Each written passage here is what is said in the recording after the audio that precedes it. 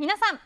こんにちは。MBS アナウンサーの玉巻恵美と気象予報士の前田智博です。はいお天気にまつわる疑問質問をテレビよりも丁寧にたっぷり時間をかけてお伝えします、はい。疑問質問はこちらまでお待ちしております。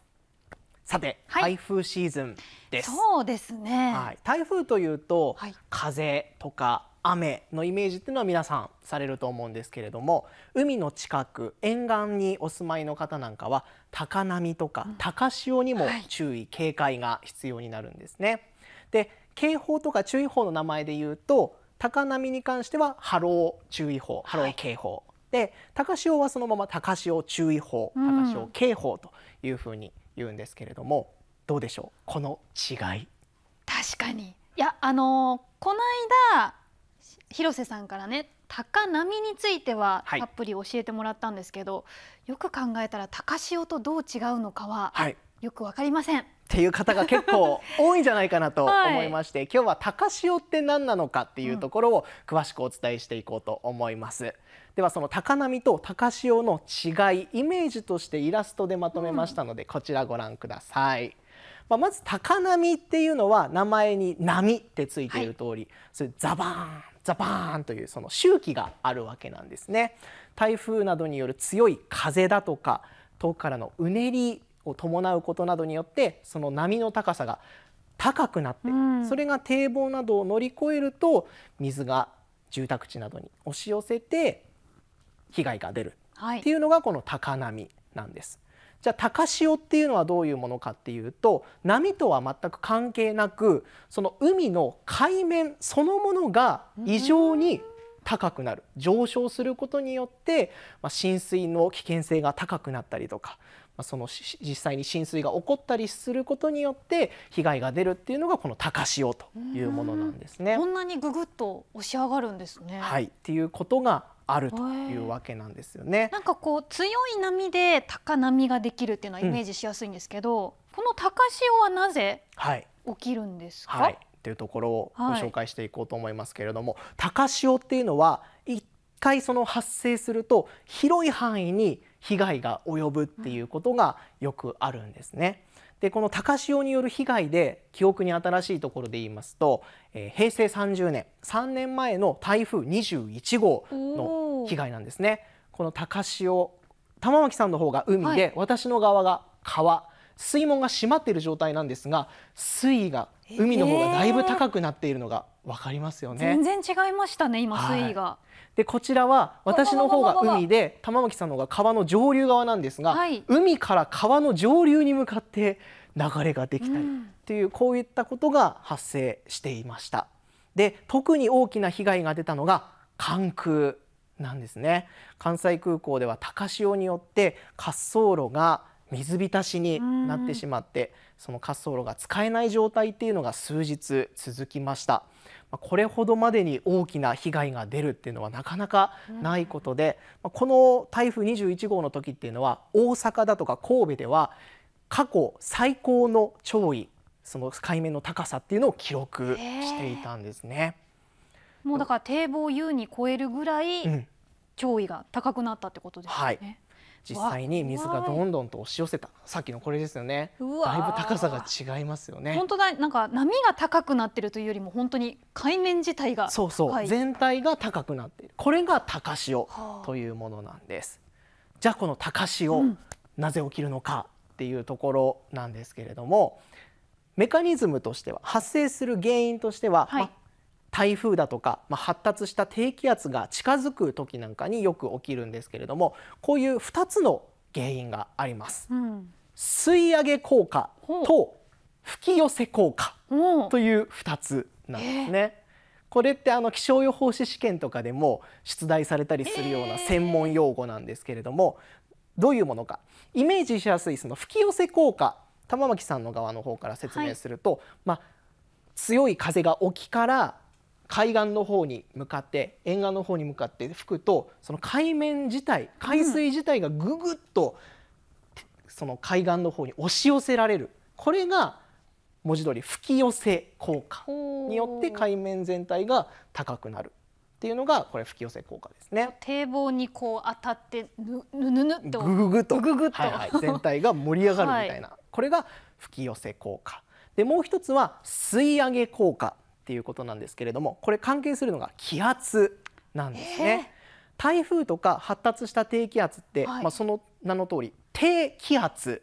なんですね。気圧っていうのは空気の圧力っていうふうに考えていただいて、まあ、ぐっとその空気が地面を押し付ける力、はい、それが低い弱いっていうことなので周りよりも押し付ける力が弱くなった分海面がぐぐっと吸い上げられるように盛り上がっちゃうんです。すごい。そう。これが吸い上げ効果。こんなことが海の上で起きてるんです実際に起きてるんですよ。どれくらい吸い上げられるかっていうと、はい、気圧が1ヘクトパスカル低くなるにつれて、えー、およそ1センチ上昇するというふうに言われているんですね、はい、ですから例えばあの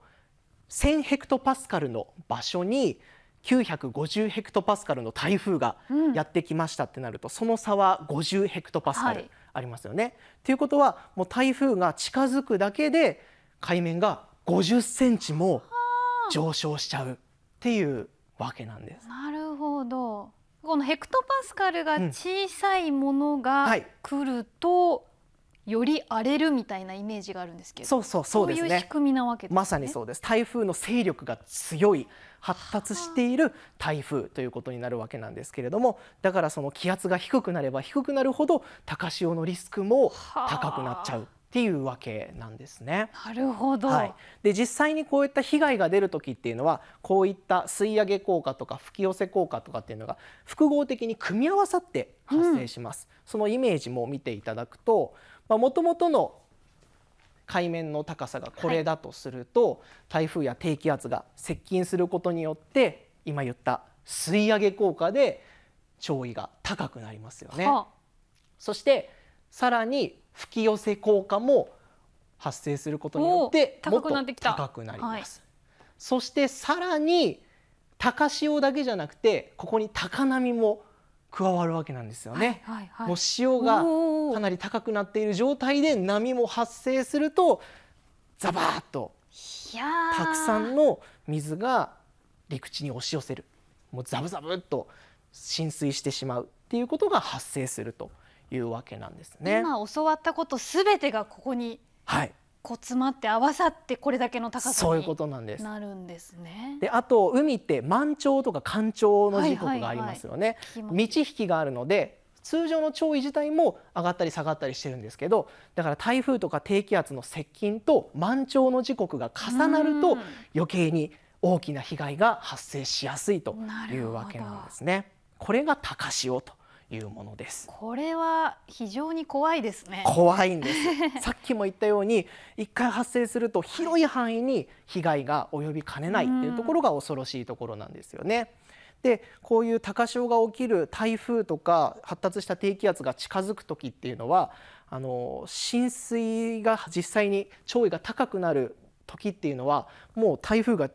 接近したり上陸したりしている時なので、うんうん、そうなったらもう避難所に逃げようにも外は荒れちゃってるので危険ですよね。もう逃げることが難しい状態になっている。ということでこういった高潮のリスクのある場所では避難自体も早め早めにするっていうことが重要になってくるというわけなんです。ある程度ね自分の住んでるところがどれぐらい危険なのかって分かったりしますよね。そうなんです。こういう避難についてお伝えするときに、はい、ハザードマップをぜひ見てくださいっていうことをよく言うと思うんですけど、例えば土砂災害だとか川の氾濫によるその浸水だとか危険な場所っていうのを見たことがあるって方は多いと思うんですけれど、はい、実はこの高潮のハザードマップっていうのも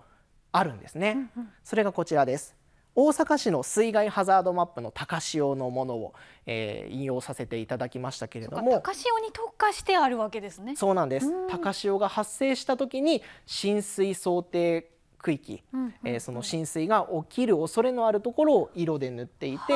まあ、高潮が起きるとどれぐらいの高さ浸水してしまう恐れがあるかっていうのをこんなふうに色別で示してくれているわけなんですね。結構大阪市内色ついてますね。そうなんです。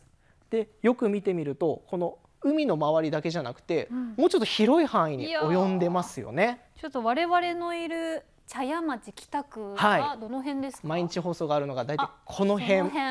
ですね北区のあたりなんですけど浸水の想定になってる5メートル以上の濃い色がついてますね。そうですね。ついてます北区も。はい。なぜかというとこれあの海の周りだけじゃなくてその海からその水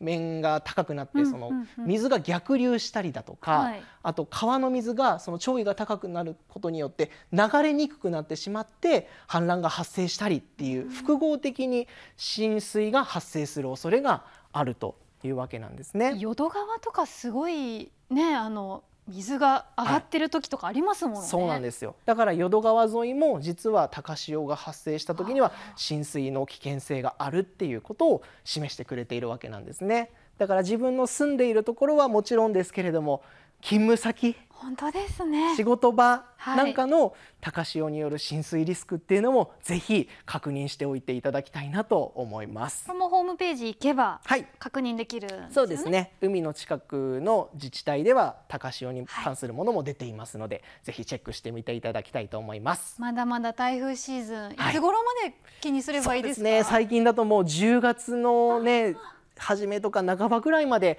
台風やってきたりしますので、はい、まだ長丁場になりますからね、うん、十分注意していただきたいなと思います。これまたすごい映像ですけれども。はいこれ実際にその台風21号さっき言ったね台風が来た時こんな風に大阪港だとか神戸なんかでもこのコンテナが流されたりえこれコンテナ？はい被害がありまし海みたいな感じでしたけど。これもね神戸港のあたりですけれども。本当にね危険な状況になりかねない、はい、はい、高潮っていうものちょっとその怖さも分かっていただけていたら嬉しいなと思います、しっかりハザードマップ見て対策して、えー、乗り切りたいですね、はい、はい、ということで今回は高潮について解説しました。ありがとうございました。ありがとうございました